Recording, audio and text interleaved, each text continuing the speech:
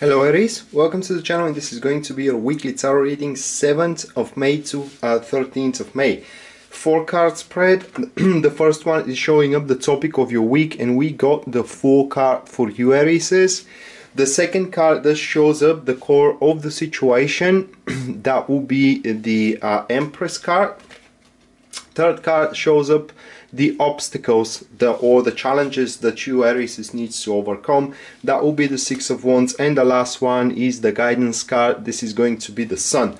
Alright, so uh, it does look like that this is going to be a brand new topic for Aries during this particular week. Uh, what we do have here guys which makes an impression is these couple of cards, the Fool and the High Priestess with conjunction of the Sun card that is as a, a guidance for you which means that it is kind of like a, a, new goal into your life or into your field uh, in a sense of uh, it is tough to express it really. It is tough to explain it. Let's say that this is a, an emerging of a new perspective. It is because you have done whatever you could until this very moment either into your relationship or either into your career. Now is time is time for you Aries to glance upon new perspectives upon new enterprises new projects new relationships etc etc whatever new you can actually bring bring and uh, implement into your current position, state, estate, life, etc.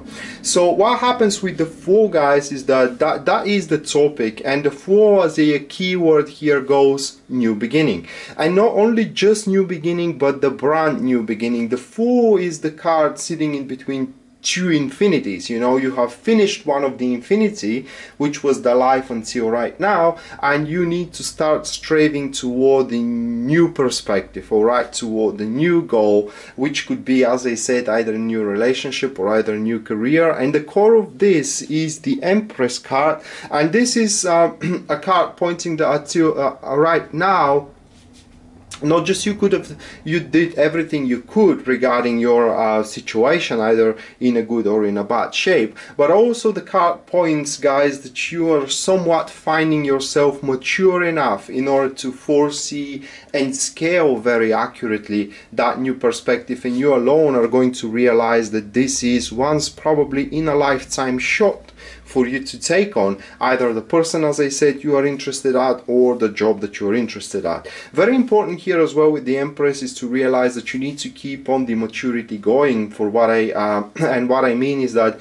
uh, whatever comes in your way during this week or even the weeks after Aries is you have to be rather calm and humble than being outbursting and emotional about it or frantic as well about it. Also the Empress card it is a about compassion all right? Not just um, maturity but also about compassion being ready to enthrall people through showing them that things can be not just conquered by aggression, you know, and by battles and wars, but also they can be conquered by love, you know, and, and compassionate and dedicated actions toward them. Very important to realize here, guys, is that you are making quite of an, example for a lot of people and they're waiting for you to give them an advice for how to move on and proceed forward. And the example and advice that you're going to give them is through your actions by taking on that new perspective perspective coming into uh, coming into your field guys and um, you capitalizing on it and striding toward your new goal or toward your new future if I may say that way. Because what we do have here the, uh, the Fool and the Sun card speaks entirely for a, a new future should you have the brave uh, the bravery to take it. Because we go to the um, to these couple of cards here. Challenges. Six of Wands. Exactly what I said, bravery, guys. You need to be uh, more filled with more confidence that you actually deserve that kind of a new beginning or that kind of a person you're enthralled with or the project that it is offered to you basically uh, you may start thinking the less of yourself all right when this um, when this perspectives comes into your um, in your way and you may have the doubts can you actually bring it to its very end you know? Can you actually be successful in it? You may start thinking that you don't have the qualification or rather you may start thinking that it is more than you can handle all right? And this is entirely wrong way of how you need to think about it guys because this is the challenge again. The challenge is to believe in yourself that you actually can pull it through. And once you do so then we go to the guidance card which is the sun card pointing that you need to approach this new agenda of yours or perspective enterprise etc with great amounts of enthusiasm to realize that this is the natural unfoldment of your actions of the past and because you have acted correctly you have taken by the way a very correct decision uh, recently and based on that decision that you have uh, that you have taken being accountable not just toward only yourself but toward others as well this is why the universe is giving you a chance you know to build up something new for yourself. And as i said you need to believe that this is the natural unfoldment here that it is actually meant for you to take it on.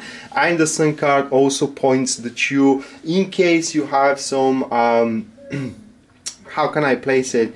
Um, damaged communications and relationships all right before you actually start making any strides toward that new perspective you gotta put the effort in order to fix those uh, and mend you know those relationships communications and etc because they may uh, play a, a, vital role that you can actually um, achieve what you are after with a, um, um, a faster motion so uh, pretty much that was for you Aries for the upcoming week. A, uh, as I said, a new perspective is emerging for you guys and uh, I hope that you will have what it takes to capitalize on it. With that being said, uh, thank you all for watching and uh, In case you're interested in a private reading with me, everything you need to know about it will be listed down there in the description of this video. Rod signing out now. See you next time. Bye.